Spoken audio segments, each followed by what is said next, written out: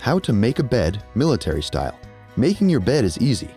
Avoiding the urge to climb on in is the tough part. Follow these steps for a snug and secure night's sleep.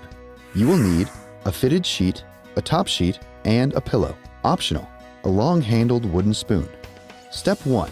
Place the fitted sheet on the bed by securing the corner elastic under the corners of the mattress. Tuck all of the edges of the sheet tightly around and under the mattress. Step 2.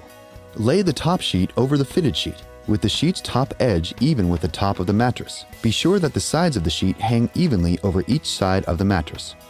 Place the edge of the sheet with the longer hem, about 2 inches wide, at the head of the bed. Step 3.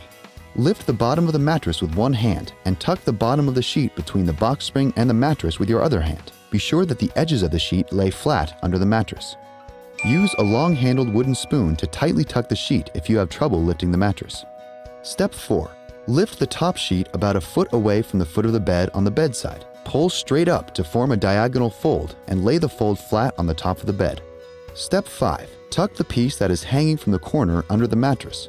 Smooth the diagonal fold down over the side of the bed and tightly tuck it under the mattress. Step 6. Tuck the side of the top sheet securely under the edge of the bed. Don't tuck the last foot of the sheet near the head of the bed. Fold the top side of the sheet down to form a nice, crisp edge. Step 7.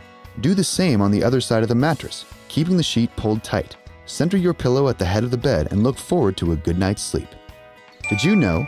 In 2009, a hotel chain sponsored the world's biggest bed jump. Thousands of people in four different cities jumped on giant 50 by 33 foot beds over 16 hours.